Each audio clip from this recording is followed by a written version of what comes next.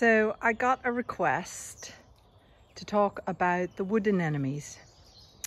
And uh, we're not sure if my grandmother planted them or my great grandmother. But this was the original drift of wood anemones here under these chestnut and beech trees. So you can see they get plenty of shade during the summer months. But they're a sweep of beautiful blue. And you can see they're just gorgeous. And what I'm gonna do is show you where I've walked around and transplanted them in other areas of woodland that we have here on the farm to spread the wood anemone's beauty across the farm. And it literally is a sea of blue. They're so gorgeous. And what I love about wood anemones as well is when night falls or it's very cloudy, their petals all close over so they go to sleep. So I'll show you some of my other, uh, our farm's other wood anemone plantations that I've spread to other locations. Isn't that right, Kitty? Look at this. All the cats love the she-wolf. Go up and cuddle up against her. And she kind of ignores them to a degree. But where I've transplanted the wood anemone is also where I've transplanted a lot of snowdrops. So I'm spreading the snowdrops from where they were originally. So there were loads around here, as you can see. Those are snowdrops. These are daffodils that actually have to be dug up and separated. They're not even producing a flower. So that's, I'll walk around and show all my um, wood anemone plantations that I've been doing around the farm so you can see how they've been growing. And you gonna come with me? Giddy, are you gonna come with me? Really? Or are you just gonna say that now? So here's one of the drifts that I transplanted, I spot transplanted a series of a blue wood anemone and they've kind of all kind of melded and come together. And, excuse me, bear, I want to walk around the wood anemones. If you come across here, there's lots of bluebells, cow parsley, and you can see I've been spreading loads of snowdrops. These are all snowdrops. And these are bluebells. And then these are cow parsley. And over here, these are several plantations of that I would just dig up a clump of wood anemones and transplant them from that main wooded area over to here. And you can see they're spreading. They're beautifully spreading. So I only have to do a tiny clump. I'll show you where I did a tiny clump this year. And this has probably taken 10 or more years. And you can see there's bees. Oh, it flew away. There were honeybees all kind of um, pollinating, but the dogs all walking by has disturbed the honeybees that were pollinating on the blue wood anemone. But, uh, and there's more wood anemone up here. You can see there. Oops, I'm gonna trip over a branch. So here's another plantation of wood anemone. Hey, kitty! You beautiful boy! How's met kitty? You can see here, beautiful kitty. There is a plantation, there's one I transplanted a year ago. These little, these blue, one there, one there, just trying to spread the wood anemones across the wooded area. There you can see that was the bank of snowdrops earlier in the year. And I planted those about three years ago, I think. Was this their third year or their second year? Oh, I can't remember now. But always spreading uh, the wood anemone about in here, this area. Isn't that right, kitty? Anemone. You beautiful kitties. Okay, I'll show you where I transplanted some wood anemones in the woods, deeper into the woods than just around the house, which is what these plantations are just around the house. Oh, and there's one by this beech tree. Hold on, I'm gonna go down and do that. Isn't that right, kitty? This beech tree, you can see the wood anemone is spreading. I brought some down here, uh, could be about 10 years ago when I started planting the snowdrops. There was no, when I came home, there were no snowdrops here and no wood anemones.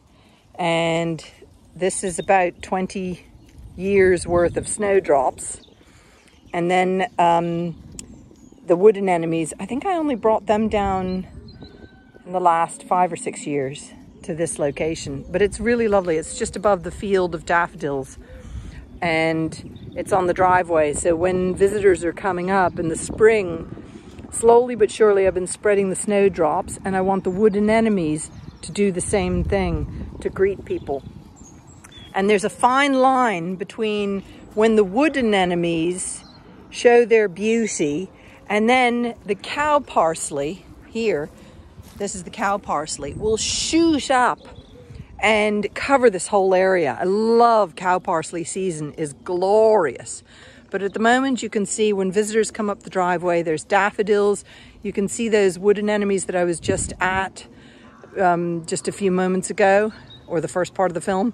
And then there's, I'm gonna start planting wood anemone under there because we've done a plantation of trees along there. But it greets the visitors with wonderful seasonal changes from the snowdrops and crocuses in early spring, then the wood anemone, and then the cow parsley. Oh, and the daffodils, of course.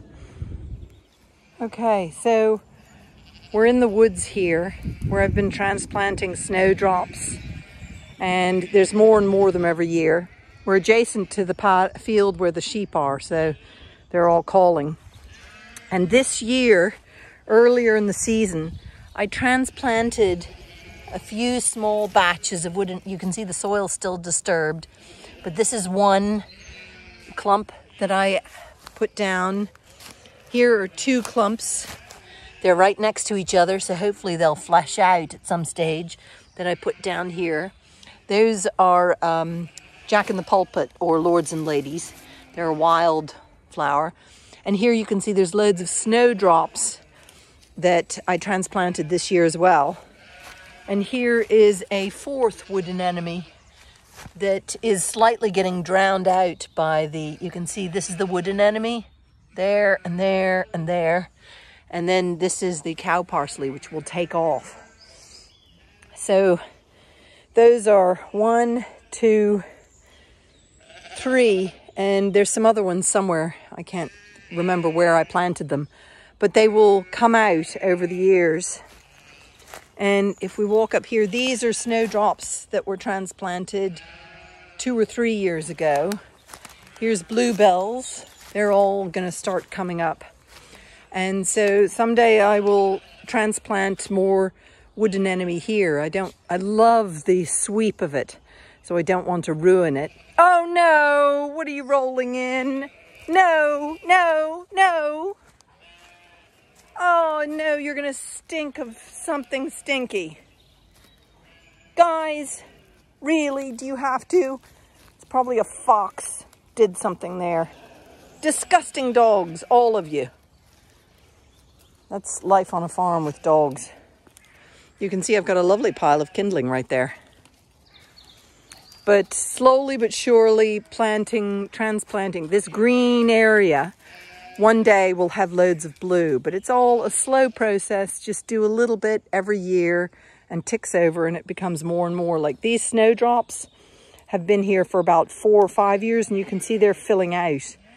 And um, they're at the stage where they might even seed, drop some seeds. What happens is the snowdrop was fertilized by pollinators and this seed head will get heavier and heavier and heavier and then it will suddenly drop down here and either be, the seeds will either be eaten by wildlife or they will be, get onto the soil and start producing babies. There's a bigger, heavier one. And you can see how they are dipping down towards the soil away from the main plant. So this is the main plant and it's going out over here. So they potentially will have seeds over there and make more snowdrops. That's one of the ways they spread. And hopefully you can see these are all snowdrops. And there were none here. There were no snowdrops in this wood, oh, six years ago, I think. So slowly but surely, I'm filling it up with snowdrops and I'll be doing the same with wood anemone. I'll show you another area in the wood where more wood anemone are. And here's more wood anemone. These I planted over the years up here. You can see they're spreading out in a big way. I planted these, gosh, over 20 years ago at this stage from that main bed at the beginning of this video. This, by the way, is the Hedgehog Hotel. Hedgehogs live in here. Daffodils, these would have been planted by my grandfather. I haven't been transplanting any daffodils up here, just snowdrops and wood anemone. But if we come round here, this is one of my favorite cherry trees. It doesn't bear fruit, but it has beautiful flowers. There's another one as well. But if we go up here, this is well above the house in the woodland. And I've been transplanting bits of wood anemone and snowdrops up here over the years. And you can see soon it will be, they'll all meet. See, one year I planted a few up there, a few down here, a few over there, and then some over here.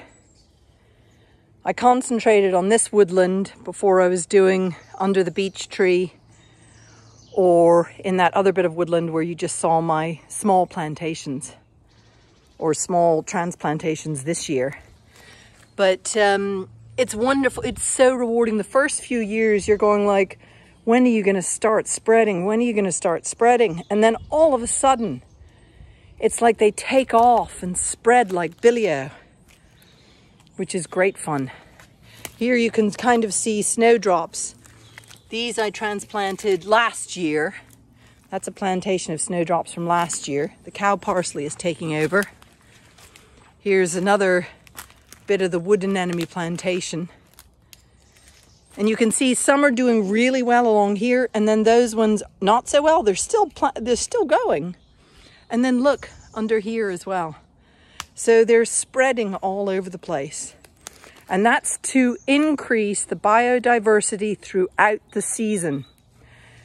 When I came home, this was undergrowth, ivy, brambles. Brambles and ivy only feed pollinators and birds twice a year. When you have snowdrops, bluebells, cow parsley, wood anemone, uh, all these different plants throughout the seasons, you're consistently feeding the insects and the birds. And that's what biodiversity is about. And that's what I'm trying to do. It looks beautiful, but it's also environmentally functional. And I think Inca has found something. What have you found? What are you digging at? Is there a vole in there? Is there a vole? Obviously there's a vole. She's very protective of her hole where there's a vole. Those snowdrops along there, I planted those last year that Oven Mitt is now walking through, my recent plantation of snowdrops. And this year I did, I planted some snowdrops up here. You can see here are a few from this year. And look at how these are now spreading on their own. They're leaping across spaces. There's nothing in there. Oh, this is um, ground elder. I'm not a huge fan of it, but it still feeds the insects. But when this whole place was ivy, oh, there's more. This was a plantation I did this year of um, transplanting of snowdrops here. They're coming really well. But when I um, was I going to say? Yeah, and the sheep grazed all the ivy off the ground. So when ivy grows all over the ground, it suppresses all these other plants that are coming back in. So, and celandine, that's the other wild thing here. Look at that. And I occasionally come up here. Where did I see it? I just saw a columbine. I saw a columbine. Uh, it's, occasionally I come up here and spread seeds. These aren't columbine. They look like columbine, but they're not columbine. I walked over it and I said, "Ooh, I've got to talk about that." Anyway, these are our woods, which a lot of the winds recently have taken down a lot of the trees. So there's a lot of young beech, ash, and cherry growing up. You can still see the evidence of de-ivying that I did, the ivy that was here, that over the last 20 years I've slowly been eliminating. Isn't that right, kitty? You beautiful kitty. You can see there's still a bit of ivy, uh, but I still have the sheep come in. This year I didn't, or this last winter, but the sheep usually come in and graze once a year to keep control of the ivy and to maintain the biodiversity. And that's how sheep should be used. Isn't that right? You're such a kitty. Yes. And the dogs are all very excited about something, particularly Inca.